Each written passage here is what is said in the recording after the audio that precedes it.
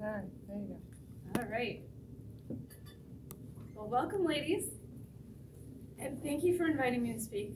I am truly grateful to be here. I have been through the adventure of a lifetime this summer, and I did not travel anywhere.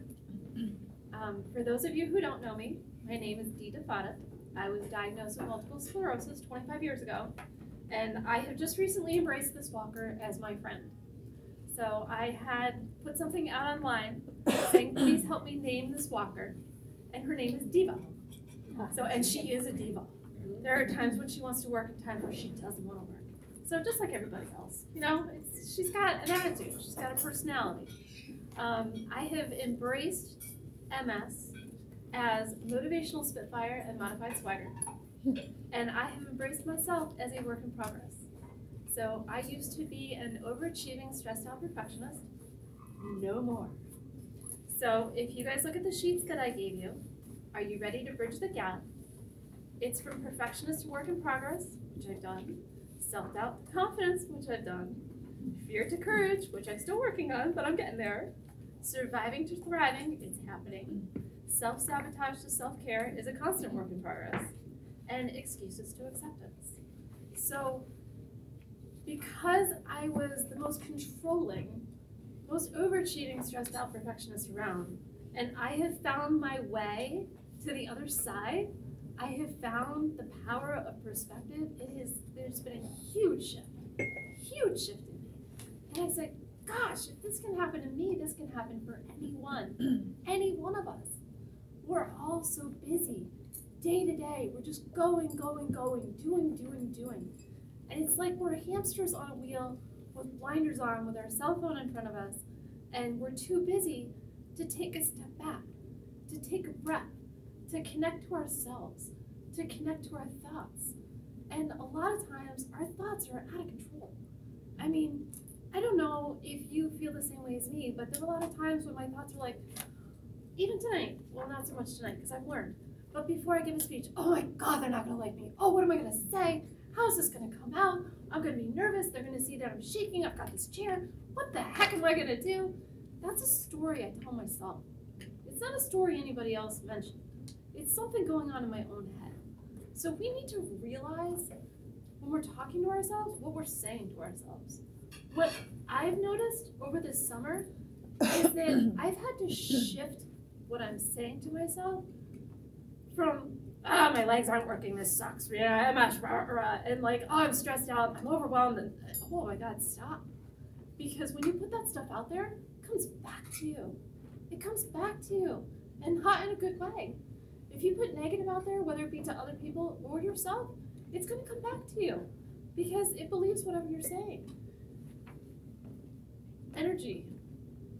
Your mind, your body, your soul feels your energy.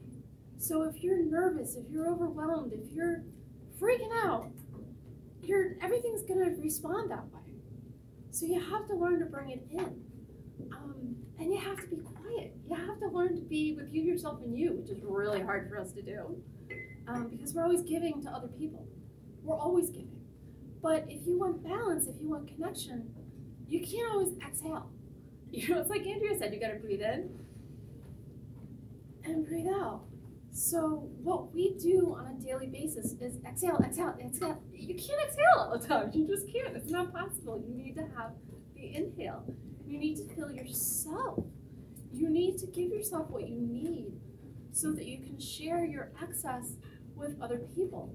What happens to us as human beings is that we get so human, we give and give and give.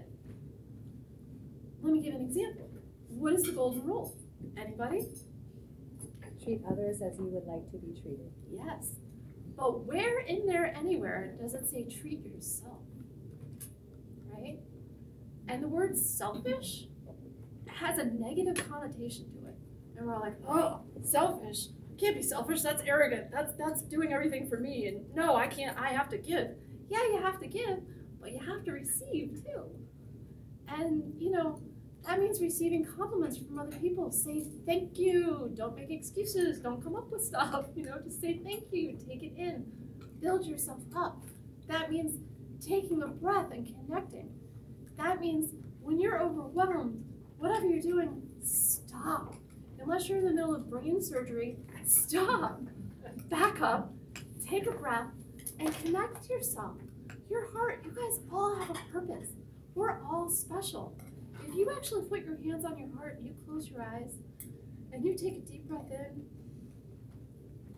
and out, and open your eyes, you're like, oh wow. You, you literally, you just, it's like, what just happened? But if you seriously focus on it, if you seriously go inside and say, okay, I'm worthy. You know what? I need this. I'm special. I need to fill myself up before I give to other people. And you guys, I know you may not have recognized what you were feeling or why you were feeling it, but when we give so much and other people aren't grateful for us giving and they're not thankful, you know, for us giving and giving, we get pissed off. We're like, ah, give it, it, give it, give it. I'm not getting anything. You're doing. What's going on? Not even a thank you. Ah. It, it's terrible, but it's it's inside of us. We have to come to terms with that inside of us, because when you give, you're not supposed to want anything in return. You're giving out of the kindness of your heart. But if you don't have anything to give, any surplus to give, it's painful, and that's when you get sick. And that's when terrible things happen. And then you go, oh, why me? Why you? Take a breath. Take a break. You know, back up. Don't get so overwhelmed. And it's hard. I'm not, you know, it's not easy. The power of perspective is all about a mind shift. And the mind shift takes baby steps. And baby steps are hard when you're used to wanting to do everything by yourself all the time. And what I mean by that is how many of you say religiously, I got this? Right? I got this. But sometimes I got this becomes, oh, I got this, get out of my way. Am I wrong? Can you guys relate to that? Does that resonate? Okay. Well, when I say I got this now, it's not, it's I got this. You know, and if I don't got this, I find somebody to help me. And the thing that has helped me the most in the whole wide world, and I never ever thought I would come to this, is uh, something, something that I realized from a lady who taught Reiki. She said, Dee, she gave me a book, and she's like, you are supposed to be the poster child for curing MS. Like, what? She goes, you're not going to need your walker anymore. And then I'm like, well, who am I going to be then? She's like, no, you're not listening. She goes, You are to be the poster child for curing MS, but it's your choice. It's what you want to do with this. And I said, Okay. And she told me to buy these two books, and she said, Keep reading them. You can cure yourself with energy. And I said, Okay. And I called her after reading this book every day religiously, and I said, I feel nothing. I said, I actually feel worse now than I did before. And she said, You need to give up control. I said, What do you mean, give up control? She goes, There's something you're holding on to. You need to give up control. And I'm wrestled with that for a while. And she's like, just say, I give up control and I ask for guidance. And I wrestled with that. I said, I hate those words, give up. I can't, give up is not in my vocabulary. I will not give up. So I walked by somebody's office and she had a cat calendar. And this cat was the cutest thing in the world. Had its eyes closed and his paws up in the air. And I said, Oh my God, that's it. I surrender. Hmm. Power of perspective not give up. I surrender. I surrender and ask for guidance. Those are the best words I've ever said in my entire life. The first time I said that and I asked for what I was looking for, it came to me. I said, Whoa. I did it again. I asked for help organizing my thoughts. And this lady whom I'd known forever was offering a free course on how to organize your thoughts. I said, What? Hmm. it's unbelievable when you get out of your own awful, like just god awful telephone garbage stories in your head where you're telling you're making stuff up. I mean, and a lot of this stuff is based on beliefs that you've inherited from your caregivers, from your schools, from think about it guys. I mean, penmanship and holding a pen a certain way and making sure all the dishes are clean before you go to bed at night and the way you clean a toilet, I mean, that's simple stuff, okay? It's crazy. And for me, it was the golden rule. And I'm like, but what about me? And it was coming to terms with being selfish. which means so much more to me now than being arrogant and, you know, demanding things from people. No, that means self care, that means self respect, that means self love. I have to take care of me so that I have something left to give to other people. We all have to do that. It's not all about me, it's about everybody. And I've been working with the people in my office, which is crazy because for the longest time they drove me nuts. And when I shifted my perspective and said, maybe this is my issue, not theirs, and uh, I really got to know them and asked them, said, what is it that you want? You know, I know that you're working here now and I know that you're frustrated, but what is it that you want? You know, open your mind, open your soul, open everything. Just think about it. You know, what do you want to do? Where do you want to be? Because the universe is there for us. They want us to be bigger and larger than life. We just can't see that because we're human and we're in control. You know? And it's like, no, we're going to do it this way. Well, how many times have you said, I'm going to do it this way? And it didn't happen that way. And it's like, okay, there's another way. So hmm. it's easier for me now to come to terms with that because I realize there's another way. Like, I wrote this whole speech and it disappeared, and I go, okay, I'm guessing that wasn't what I was supposed to say. I surrender. I ask for help, you know? It's just, it's easier when you come to terms with that. It's easier when you see a perspective from a different view. I mean, even as simple as this sign tonight. You know, we couldn't find a way to hang it because it wasn't the normal way. It didn't have the normal everything. I said, just hang it over. We'll see what happens. And it stayed. Woo! You know, I mean, it's the simple things, but it's all baby steps. By taking little baby steps and realizing that just doing these little shifts in your mind and mindset can bring about some pretty big shifts. And when those big shifts happen, everything looks different. You know, I looked at impatiens the other day, and I don't know if you guys know what impatiens are, the flowers, but my friend was next to me, and I go, What do you see? She goes, Impatiens. I go, What else do you see? She goes, Beautiful colors. I go, What else do you see? And she goes, I see dew on the flowers. And I, I go, She goes, Well, what are you talking about? I said, Look at the leaves. They're like shaped like hearts. She went, Oh my God. I never would have noticed that, you guys, not even six months ago. I just would have walked right past it. But when you step back, when you step back, when you go inside, when you really go inside and spend some time with you, yourself and you, and you lower your guard and you surrender and ask for help, and you're not the control freak, and you back up when you get overwhelmed, and I'm telling you, it will change your life. There will be this big shift that will blow your mind, and you look back and go, wow, wow, I changed a lot. This has happened to me over the summer. This is not like years and years and years and years and years and years and years. This is just being aware and knowing about the power of perspective. I love you guys. You all have it in you, you know, and it kind of go from holy to holy shit. Awesome. I like It is that. awesome. Yep. Thank you, Jean. You're welcome.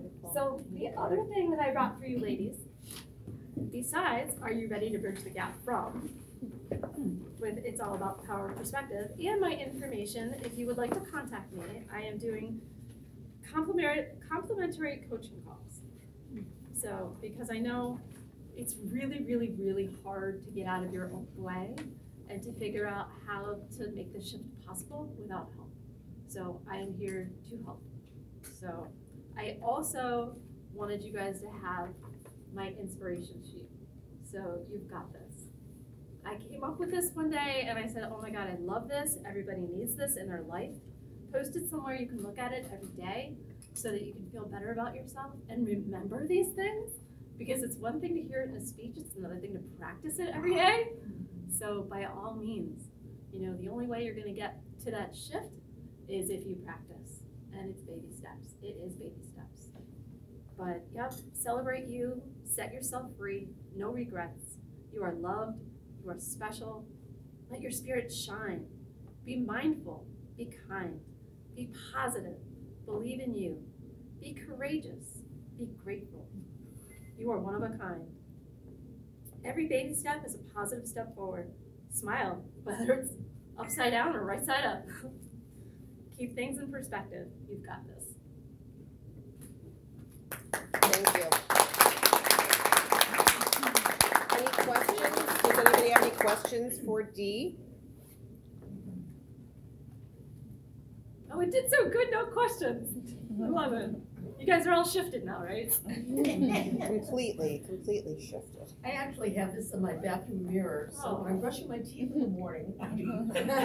Just remind myself. It really does help. I'm telling you, the way we go through life, we give so much to other people. And we're expected to give to other people. I mean, that's how I grew up. You know, give, give, give, give, give, give, give. But when do you give to yourself? Mhm. So, and people look at that and they go, What? I can't do that. Celebrate me. No, it's not about me. Yeah, it is kind of about you. You got to take care of you first. And they're like, Rah. I'm like, No, no, no, no, no, no. Let me help you. Let me help you. So I know it can seem daunting. I know it can seem like, Oh my God, I can never do this. But you can. You can. Because everything that you learned before, all the beliefs, all the self doubts, all the fears that you have from before, think about it. They're probably not even yours. Okay? the way you grew up, the things that you inherited from your parents, from your teachers, from your friends, it's crazy. So when you actually go back and you think about some of that stuff, you're like, what? I'm holding on to that because why? It's crazy. It can be so freeing.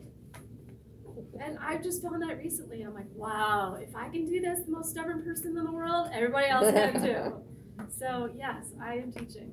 You have such a wonderful message. How are you going to share that with the world? I am starting with complimentary coaching sessions. It's going to be one on one. I am going to work on an online course. I am actually in the process of working on an online course. I am doing motivational speaking, so if you know of anyone who needs a speaker, I am available. Um, and I'm working on a book. Nice. Great, Yeah, wow, there's there's a lot of things in the works right now, which is a lot of fun. exciting. But um, yep, first and foremost, I'm starting out as a coach and complimentary coaching sessions to, just to see where you're coming from and if I can help. Wonderful. Thank you so much. Thank you so much for having me.